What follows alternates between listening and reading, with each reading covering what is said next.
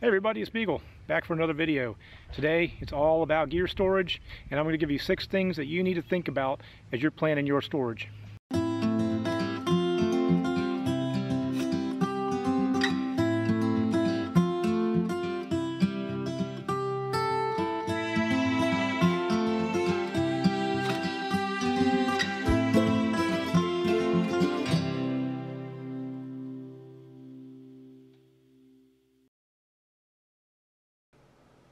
Back everybody. So it is day, God knows what, of the uh, COVID-19 quarantine here and uh, I'm really missing getting out the trail like I'm sure many of you are. But uh, hang in there. I think things are moving in the right direction. Things are starting to open up, uh, especially here in my state. Uh, we're on the way back to normalcy, I hope. So one of the things I've kept myself busy with during all this craziness is trying to solve a problem that's been haunting me for a couple years now. Have you ever gone out getting ready for a trip and you just can't find that one piece of gear that you know is around. You've uh, you spend hours on end going through multiple storage bins, closets, your car trunk, all different parts of your house, and you just can't find what you need. I don't know about you guys, but when I'm going out on a trip, I need less stress, not more of it. So what can you do about that?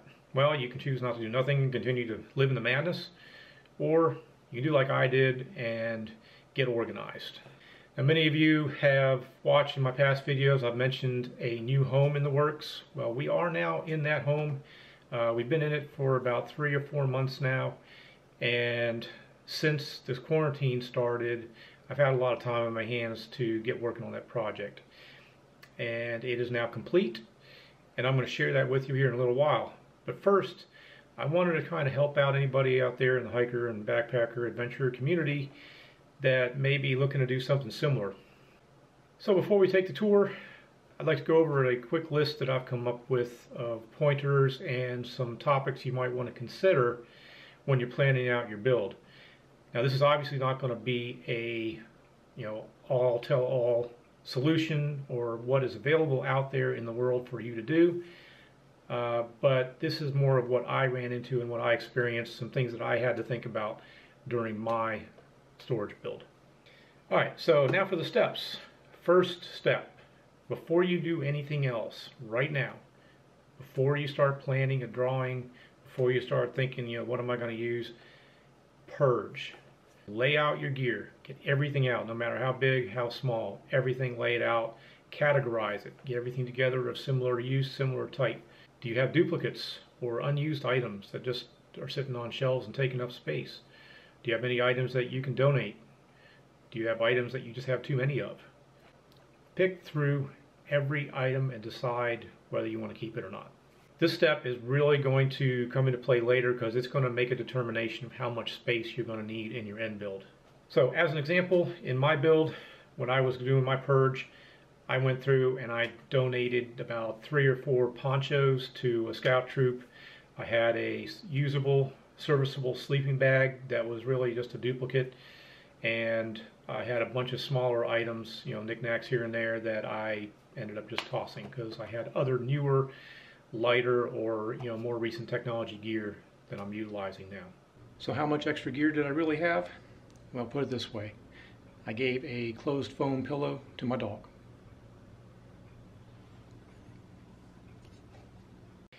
In the end, I dumped at least one plastic, large plastic bin worth of gear that would have otherwise been taking up some valuable space. All right, point number two. What kind of spaces do I have to work with? Now that you have a handle on how much you need to store, you start thinking about how much space you're going to need to store it.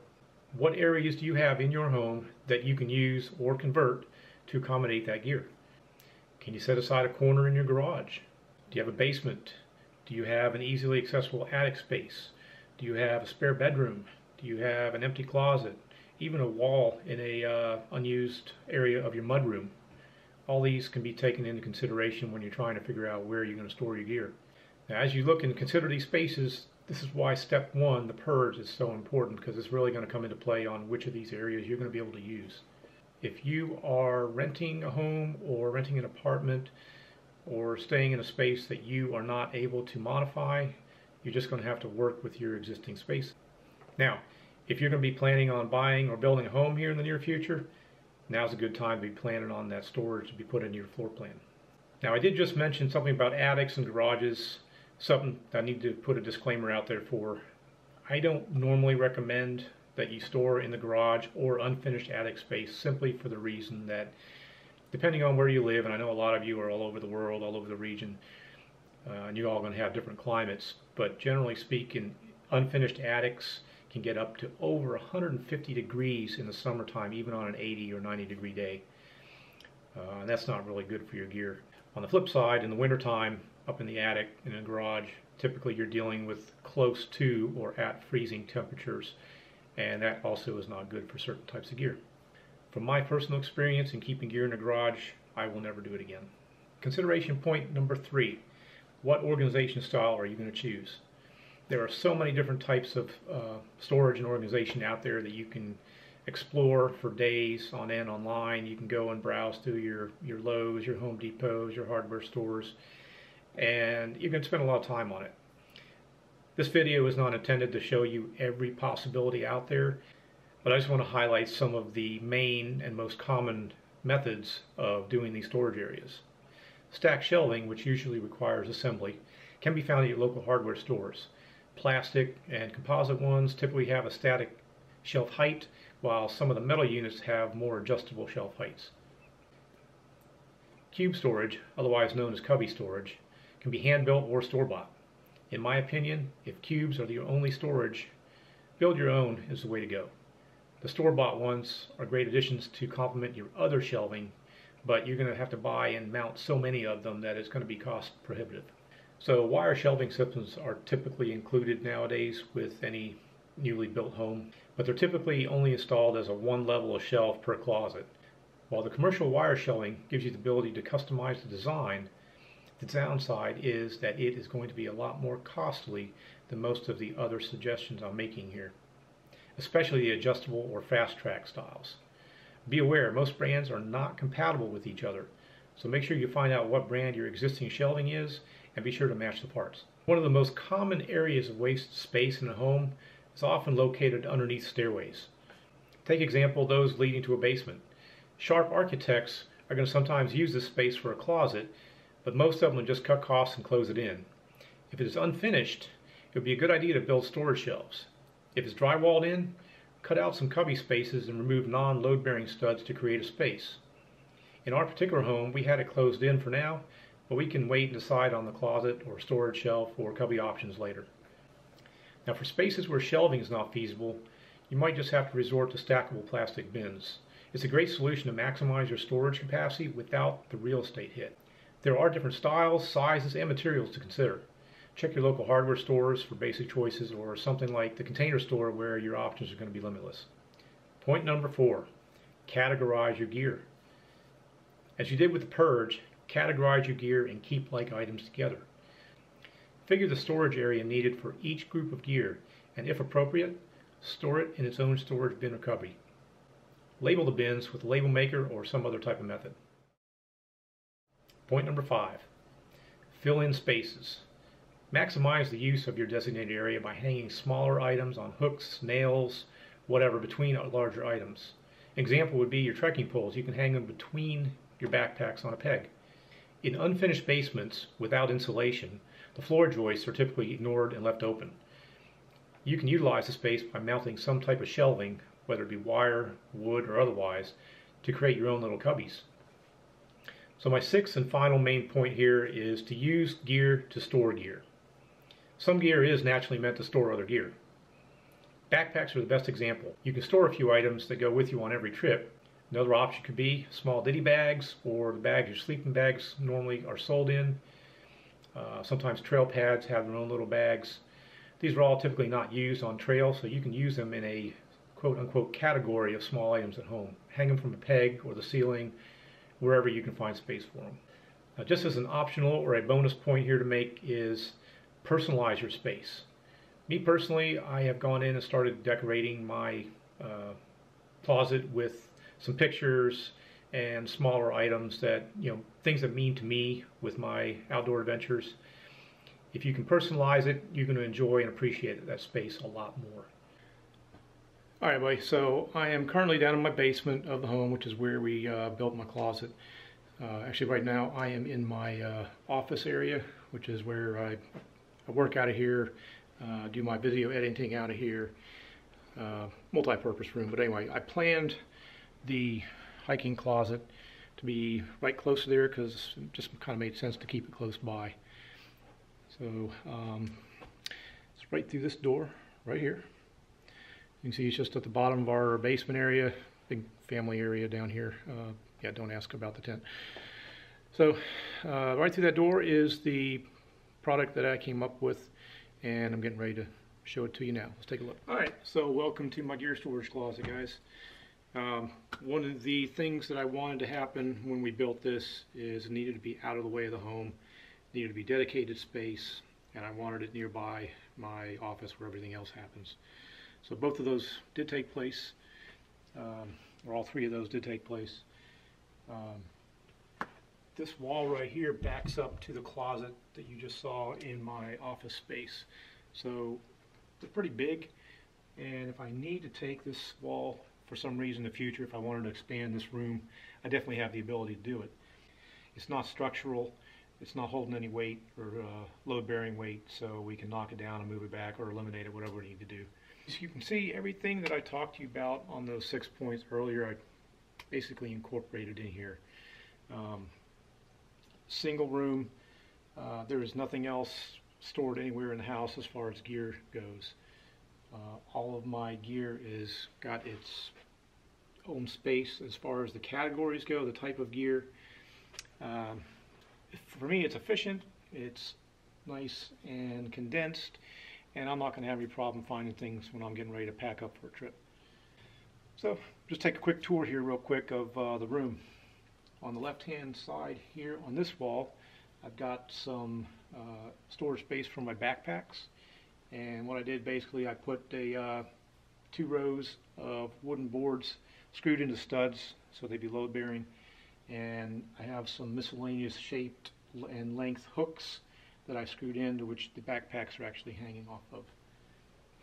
In the back here, uh, for my sleeping bags, I wanted to store them the right way and really the best way to store sleeping bags is hanging them from the tabs that they're built with. They uh, pretty much every sleeping bag that's good quality sleeping bag is going to have either one or two loops on the end and that's what I did. I built uh, for those loops uh, three quarter by two or three inch boards to the top and I screwed them in with uh, onto the floor joist up above in the drywall. Uh, I had to do that because the joists just weren't right in the right place for those hooks to work. So by putting the wood up there, it gives me some space to be flexible on the width of the hooks. It works for me because then you won't have that degradation of your uh, down or synthetic material that happens over time when you start to store them compressed. This particular wall right here, I didn't put much down low, but up top is my headgear. Again, I've used the wood for flexibility on the positioning of the loops. For the shelving system over here on the right wall, I used the ClosetMaid product. Uh, there's ClosetMaid, Rubbermaid, and some of your Home Depot, Lowe's, etc. brand name shelving. Uh, ClosetMaid seemed to have the best fit for what I was looking for. Plus the Rubbermaid, for some reason, in this area, starting to be phased out. Nobody's carrying all the pieces anymore. So this made the most sense. I did use the Fast Track system, which um, once you look at it, you'll see there are slots that you can adjust the shelving mounts or the brackets and you can make the shelving spacing more or less as you need. So basically what I store over here in this corner is my clothing. So up top I've got my hat, buffs, gloves, socks, underwear, and yeah, you guys have seen my underwear now. Uh, my tops, my base layers, rain pants, shorts and pants, and down below are all of my hanging sweaters, jackets, rain gear, and my life preserver I use when I go canoeing or paddling. In the middle, uh, again, piece of board with some miscellaneous hooks that I can hang things from with these little ditty bags uh, if I wanted to. I got my micro spikes, extra laces, my belts. These here are my uh, dry bags that I use uh, inside my pack or inside the canoes. And the lower portion here, if you can see it, it's uh, all my shoes. Uh, currently have about six pairs of various shoes that I use uh, between my trail runners, hiking boots, water shoes. I even got some uh, aquatic boots, which are tactical boots that you, uh, they got the holes in it, drains out the water really good. So down below here I have two plastic tubs right now. Uh, they will probably be going away in the near future. Uh, the first one down here just has all those extra bags I, I spoke about earlier in the video. These are just basically extras that I talked about earlier in the video. Bags that came with the sleeping bags or other gear that I just don't use. I can use them to store other gear within. And this one down here has some oversized pads, uh, fold-up chair, things I don't really take on trips much. Uh, they're just stored out of the way. And on the bottom over here, next to that, I have a Thermarest pad that you can't really compress. You can only roll it up, so it's pretty big. And a couple of uh, SansBug shelters here. I use those when I go on either local camping or sometimes I take them with me on the Boy Scout camps. All right, upper part of the shelves on this side, uh, same thing. It's the uh, the ClosetMaid shelving, and uh, it is. I didn't mention it over on this side, but it is the close-knit shelving. It's the wires are a lot closer together. They have different shelves of varying widths on the on the wires. This one made more sense to me because things set on a nice a lot better than they do on the wider spacing, they tend to you know fall between the wires and tilt, and I just don't really prefer that. Anyway, starting up top here is uh, my paddle maps and hiking trail maps. Uh, some of them are in bags, some are folded right now. Uh, to the right of that, I have my waterproof notebook that I can use for taking notes or whatever I need to write down on trail when I'm on downtime. Uh, I have a binder here that I use whenever I'm planning a trip. I pretty much print everything out and put it together in a binder to keep everything nice and organized. Uh, I got a couple of the trail books here that I'm reading right now, like the JMT, and uh, that also has my Appalachian Trail Guide on it. Right below that, uh, everything on this bin is water and water purification related. Uh, got some cups that I use for tea or coffee or whatever I want to do on the trail. Uh, right next to it, I have the utensils and bowls and cups, expandable type. Sea to Summit, these are awesome. And to the right back of that are my canteens. So right next to that is all my stove and gas. Right here is anything that is fire starting related. I got some waterproof matches, some uh, lighters, magnesium, uh, anything I need to use to start a fire. I'm a big proponent of bear canisters, so I do store them in here as well. They got some leftover food. I don't have everything out of them in here yet, uh, but in this bin here is all of my dehydrated meals. And this is my cozy. So everything here on this shelf, uh, starting from the left, this bin is anything first aid related or hygiene related. A uh, bunch of miscellaneous items in here, bug sprays, ointments, my first aid kit, and that's got my uh, knee brace on there as well. I have uh, my camp towels, bandanas. In here is uh, miscellaneous water sports things that I use to, uh, I kind of hook them to my glasses, so if I lose my glasses, they float. Uh, same thing with keys. Uh, if I'm carrying some keys, I want to make sure I put the float on that. Have my electronic, uh, my lights, my LEDs. Uh, pretty much don't hike with these, but I do with the uh, headlamp that's in there. Over here is all my electronics. Anything from battery chargers to solar chargers, anything I use for the cameras on trail. And right next to that I got my Garmin InReach. Last but not least, lower shelf here has all of my shelters. Some extra summer sleeping bags that can't really be hung. They're kind of cheapies. Uh, they don't really have hooks on them or loops on them. Uh, next to that is all my trail pads, uh, everything here is air with the exception of a compressed foam that I have in the back there. Now everybody, one disclaimer about stove gas being in here. Right now I'm storing it in here. Uh, not a good idea though. I recommend storing this outside of the house, either in your garage or better yet even in a shed if you have it available. Uh, if one of these leaks inside the house, that's uh, you know you're gonna have a big problem. Uh, so I highly recommend these not be stored indoors. Okay, well one final thing I'd like to discuss that I talked about earlier in the video, and that is the personalization of space. Um, still a work in progress. I've ordered some prints that they haven't come in yet. Uh, mail is being a real problem with that. But as you can see up here, I can't mount anything in here that uh, is load bearing because it is an actual uh, air return for the HVAC system. Uh, but I can use some small pictures or small thumbtacks to mount uh, in this thin drywall. So I'm using that area for my decorations, pictures, whatever else I want to put up there to kind of make it feel like my, my hiking environment. So right here next to the door coming in, there is some more space for decoration if I want to use it or even gear. Uh, very flexible. Right now I just got my little AT Blaze hanger and uh, right now that's all I got for decoration but I'm going to work on that. Alright guys, well that's it in a nutshell. Uh, this is my solution, my build. This worked for me. And the most important thing to take away from this video is whatever you guys come up with needs to work for you. Needs to make sense to you. Uh, hopefully all the ideas I gave you here in this video will just help you to come up with uh, your own ideas, get your creative juices going. Uh, you know, there are so many different things to do out there, so many ways to do it. So I'm really eager to see what you guys come up with. Uh, for those out there that already do something and have a storage area, what do you guys do? You know, share it with the group. Be sure to put the comments down uh, below. Uh, share your designs, your suggestions. Uh, I'd love to see the other solutions out there. As always, guys, thank you for watching. Don't forget to give us a thumbs up if you like what you see. And don't forget to subscribe. You'll get notices whenever a new video is released. Again, thanks for watching. Be safe, and I'll see you on the trail soon.